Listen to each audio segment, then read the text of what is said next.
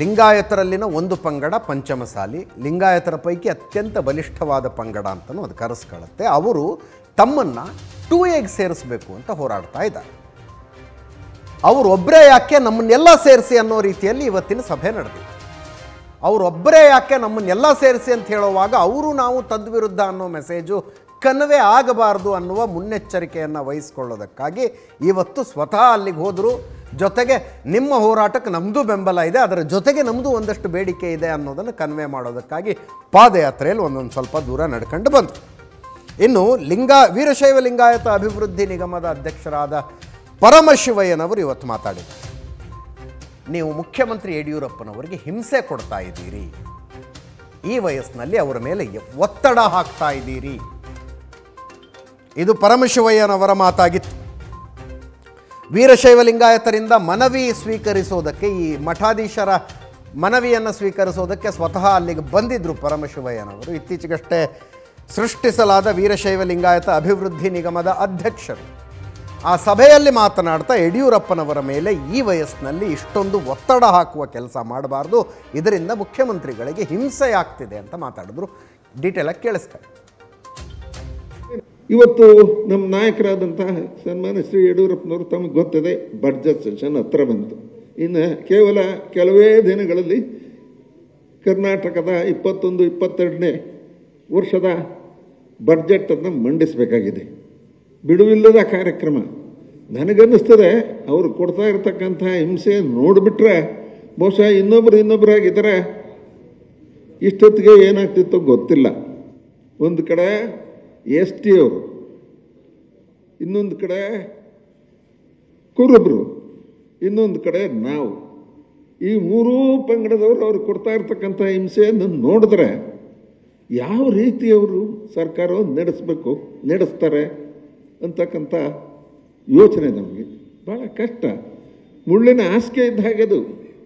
ಮುಖ್ಯಮಂತ್ರಿ ಅಂದರೆ ಏನು, ಅದು ವೈಭವೋಪೇತವಾದಂಥ ಒಂದು ಆಸನ ಅಲ್ಲ.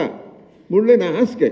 ಅದರ ಮೇಲೆ ಕುಳಿತವರು ಸರ್ಕಾರ ನಡೆಸ್ತಾ ಇದ್ದಾರೆ ಭಾಳ ಸಮರ್ಥವಾಗಿ ನಡೆಸ್ತಾ ಇದ್ದಾರೆ, ಇಂಥ ಆರ್ಥಿಕ ಕಷ್ಟದ ಕಾಲದಲ್ಲಿ ಕೂಡ ನಡೆಸ್ತಾ ಇದ್ದಾರೆ ಅಂತ ಹೇಳಿದ್ರೆ ನಾವೆಲ್ಲ ಆಶ್ಚರ್ಯ ಪಡಬೇಕಾಗುತ್ತೆ.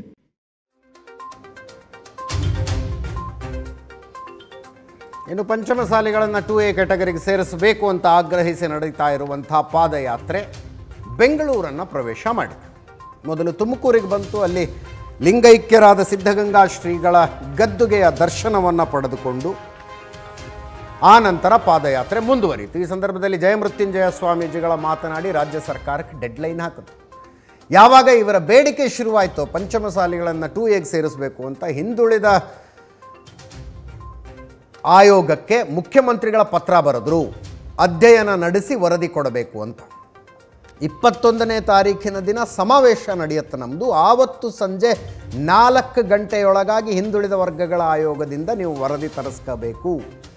ಜಯಮೃತ್ಯುಂಜಯ ಸ್ವಾಮಿಗಳು, ಸರ್ಕಾರಕ್ಕೆ ಕೊಟ್ಟಿರುವಂಥ ಡೆಡ್ಲೈನ್ ಇದು. ಇಪ್ಪತ್ತೊಂದನೇ ತಾರೀಕು ಸಂಜೆ ನಾಲ್ಕು ಗಂಟೆಯ ಒಳಗಾಗಿ ಹಿಂದುಳಿದ ವರ್ಗಗಳ ಆಯೋಗದಿಂದ ವರದಿ ತರಿಸ್ಕೊಳ್ಳಿ ಅಂತ. ಇಲ್ಲದೆ ಹೋದರೆ ಆಮರಣ ಅಂತ ಉಪವಾಸ ಶುರುವಾಗುತ್ತೆ. ತುಮಕೂರಿನಲ್ಲಿ ಮಾತಾಡಿದ್ದಾರೆ.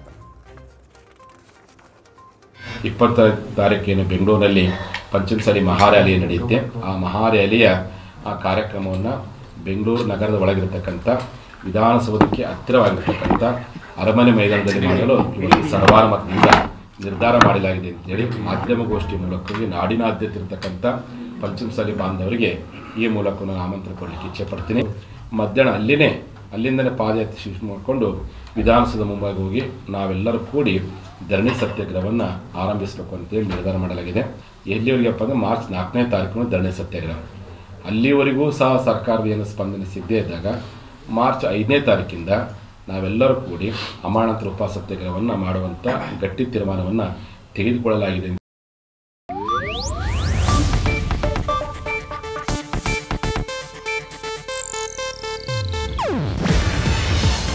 ಏಷ್ಯಾನೆಟ್ ನ್ಯೂಸ್ ನೆಟ್ವರ್ಕ್ ಪ್ರಸ್ತುತಿ. ನೀವು ನೋಡ್ತಿದ್ದೀರಾ ಏಷ್ಯಾನೆಟ್ ಸುವರ್ಣ ನ್ಯೂಸ್.